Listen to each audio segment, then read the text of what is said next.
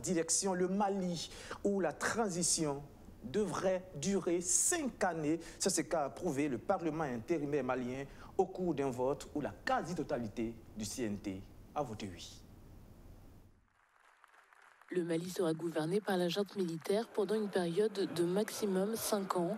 Il s'agit là de l'une des clauses principales du plan quinquennal de la transition démocratique approuvé par le Parlement malien. Lundi, les législateurs ont ainsi permis aux militaires de garder le pouvoir malgré les sanctions régionales que cette proposition avait imposées au Mali.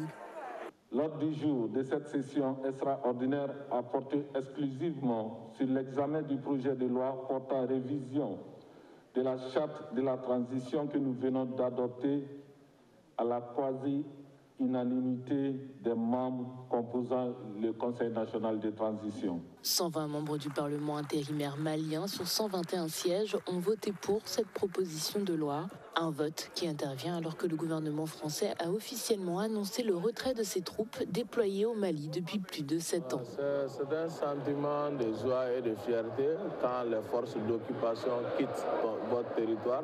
Vous ne pouvez que vous en réjouir féliciter le courage patriotique des autorités, précisément du président euh, patriote libérateur Assimi Goïta. Quand Barkhane se retire, c'est le début de la fin de la guerre au Mali. Et quand les forces d'occupation quittent le Mali, c'est le début de la fin de la guerre au Mali. Après avoir organisé un coup d'État en août 2020, les nouveaux dirigeants du Mali avaient initialement promis d'organiser un scrutin en février 2022. Mais en décembre dernier, le gouvernement a proposé de rester au pouvoir entre 6 mois et 5 ans.